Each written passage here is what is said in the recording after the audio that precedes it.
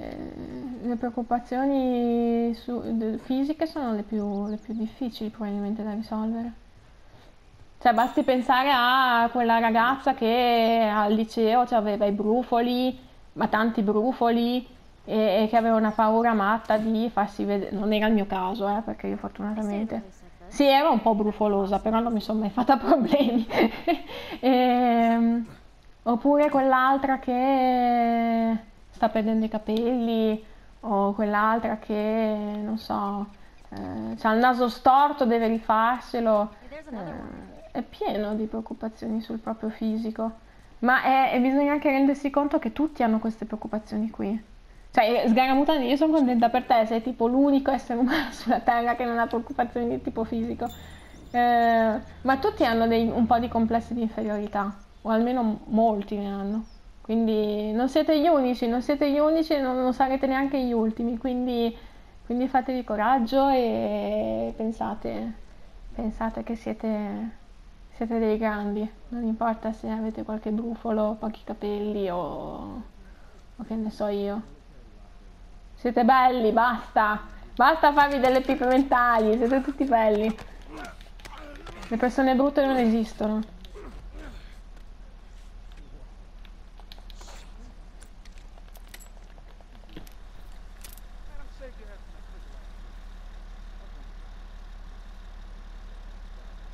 Olè, ciao eh, Robino, scardassoso.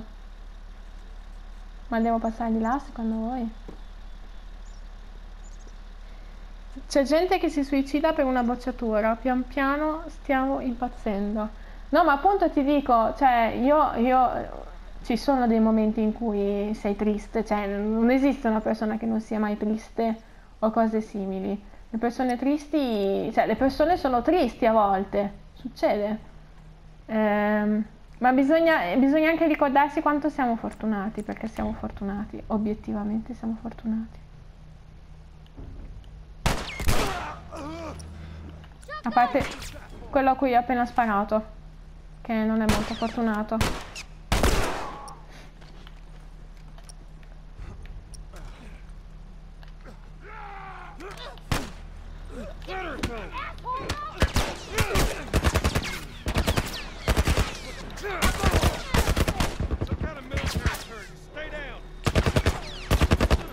Che situazione del cazzo, Wrecker!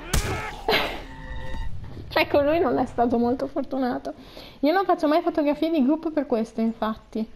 In che senso fotografie? Perché si... in che senso non fai mai fotografie di gruppo? Perché la gente si suicida. No, mi sono persa un passaggio forse. Dov'è il mio fazzoletto? Oh, accidenti.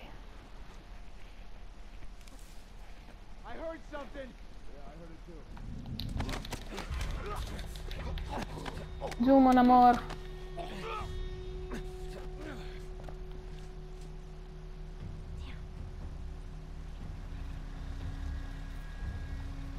Ma perché ho camminato su quel, quel coso lì?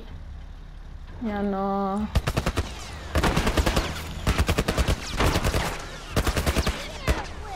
Sì, beh, qualcun altro magari. Ma chi è che mi sta sparando? Mancato. Grande.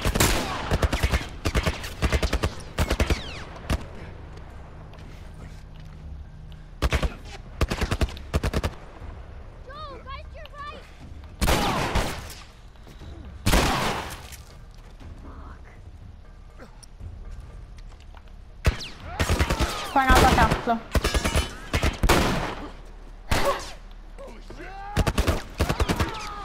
Sono morta. Eh sì. Non mi vedo bellissima nelle foto esco ancora peggio. No, dai, non ci credo. Non ci credo, Doc. Non, non farti mai problemi per il tuo aspetto, perché... Perché non... Perché ti distrugge la vita, non ne vale la pena. Sì, vabbè. Che cazzo. Scusate.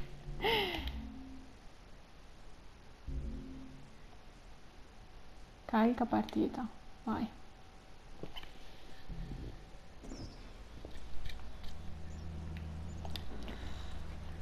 Non farti mai problemi e soprattutto pensa che gli altri che si stanno facendo la foto in realtà hanno esattamente gli stessi problemi che hai tu. Identici. Hanno le stesse paure che tu, identiche. Anche se ti sembrano belli. Sono sempre quelli che si guardano in foto e dicono come sono venuto, come sono venuto, come sono venuto. Ma perché tutti sono così, soprattutto poi giovani. Poi ad un certo punto ci si smette di preoccupare e basta. Si manda tutto il mondo a fanculo.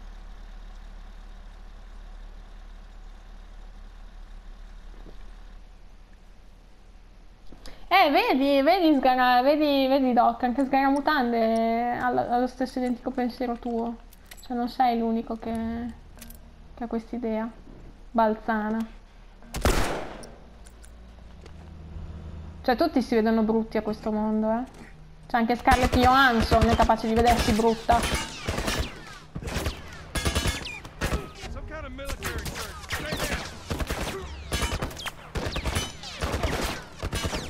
Che è come c'è Iron Man. Via! Speriamo che Ellie ci sia. Ellie. Ellie. Grande. Grande Che cazzo!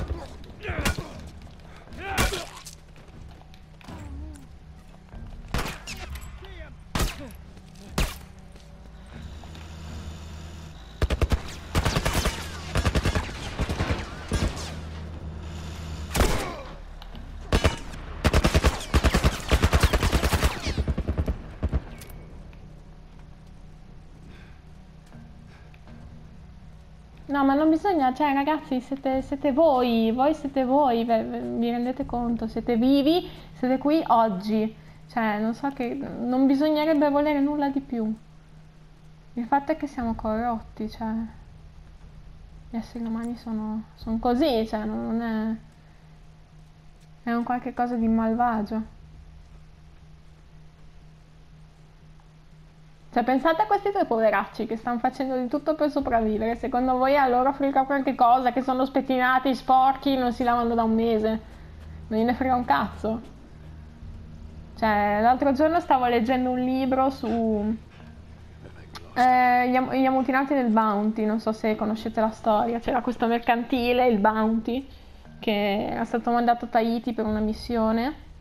Eh, e una volta stati a per sei mesi si ammutinarono. E si ammutinarono eh, mentre erano in viaggio. E invece di uccidere il comandante che si chiamava Blight eh, che è diventato famoso e, invece di ucciderlo lo misero in una lancia.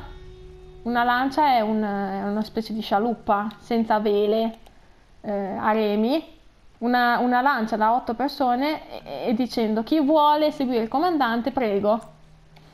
E lo seguirono in 19 il Bounty non era una nave grande era una nave da diciamo eh, 30 persone 40 persone. 19 seguirono il capitano in una lancia da, una lancia da 8 persone.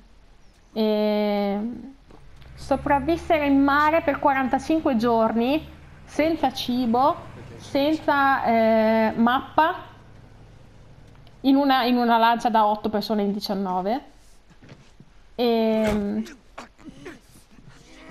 e sopravvissero. In una situazione di merda.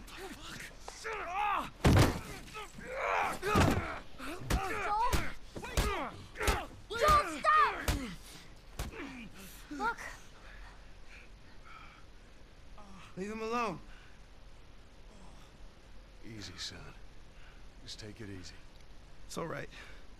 They're not the bad guys. Lower the gun. Adesso finita la cassina rispondono tutti, eh. Man, Ma le cassine sono sacre.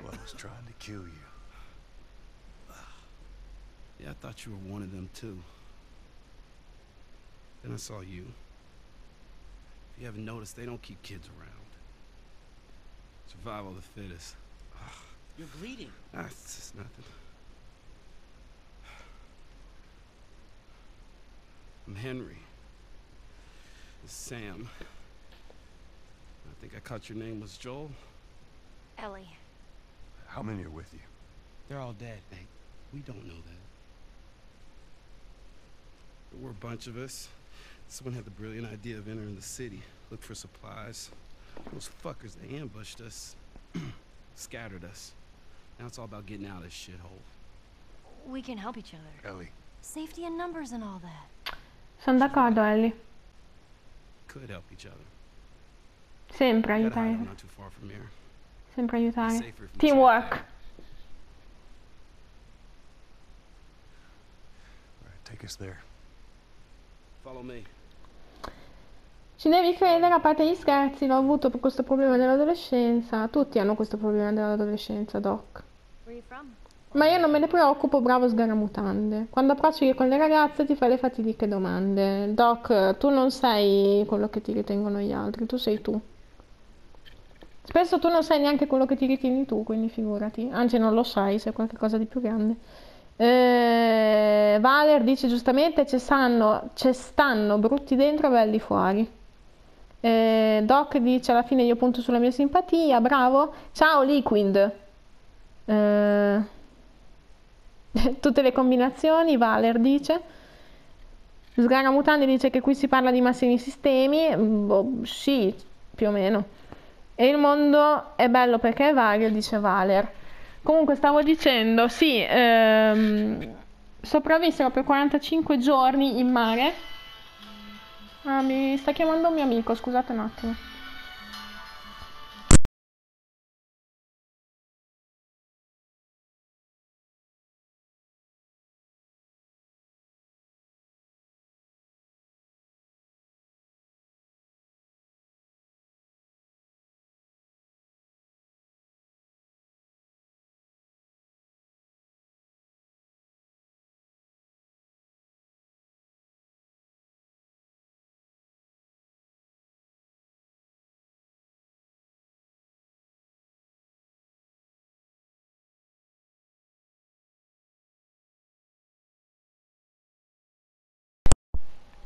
Allora, un mio amico, un vecchio amico di PSN, gli ho detto che sto facendo la live subito, giustamente.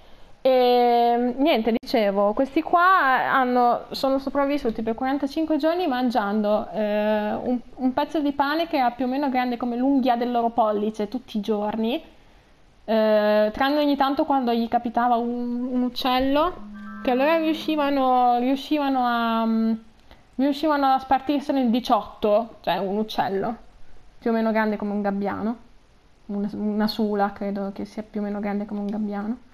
E per 45 giorni così, bevendo quello che pioveva e mangiandosi questo pezzo di pane grande come un'unghia.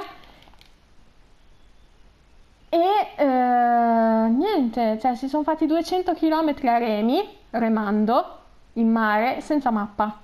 E alla fine sono arrivati, erano inglesi, sono arrivati in una colonia olandese ehm, dove sono stati raccolti col cucchiaino, 5 sono morti di... no, 4 sono morti di inedia, uno è morto perché è stato ucciso dai, dagli indigeni che l'hanno fatto fuori, gli hanno sfracellato la testa e gli altri 4 sono morti di inedia dopo essere arrivati.